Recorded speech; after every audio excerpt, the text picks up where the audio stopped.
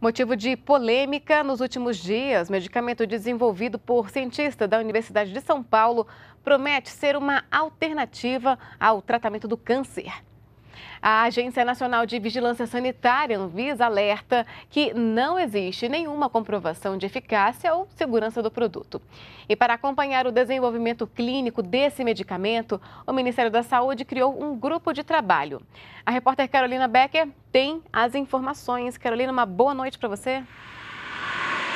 Olá, boa noite. Aline, a fosfoetanolamina não passou por testes em seres vivos, não tem registro na Anvisa, Agência Nacional de Vigilância Sanitária, e seus efeitos são desconhecidos. A ideia do grupo de trabalho é, definida pelo Ministério da Saúde é que a substância passe por testes clínicos em colaboração com a Anvisa, também com a Fundação Oswaldo Cruz, a Fiocruz e com o Instituto Nacional do Câncer, o INCA.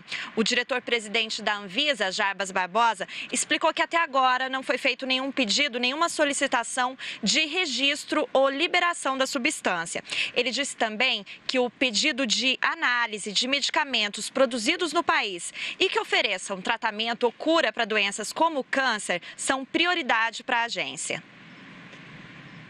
Nós não temos na Anvisa nenhum pedido para análise de protocolo de ensaios clínicos ou de registro do medicamento.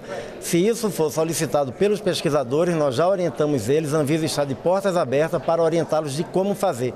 Mas é impossível nós termos, não só no Brasil, em qualquer país civilizado do mundo, um medicamento ser é, utilizado na população sem que esses ensaios comprovem que ele é absolutamente seguro e que ele também é eficaz. Dentro dos nossos critérios de priorização, qualquer medicamento medicamento que seja desenvolvido no Brasil ou que seja um medicamento para uma doença onde não se tem outras alternativas, ele imediatamente vai para o começo da fila.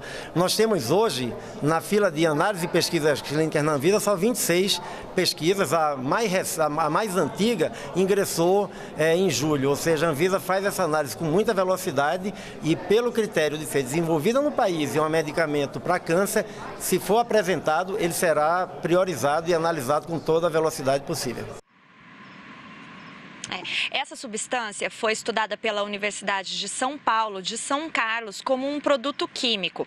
Decisões judiciais têm obrigado a universidade a distribuir a substância, mesmo sem testes em seres vivos ou estudos controlados com humanos. A Universidade de São Paulo publicou uma nota esclarecendo que a eficácia da, da substância não é comprovada e que as consequências do uso são desconhecidas. Aline.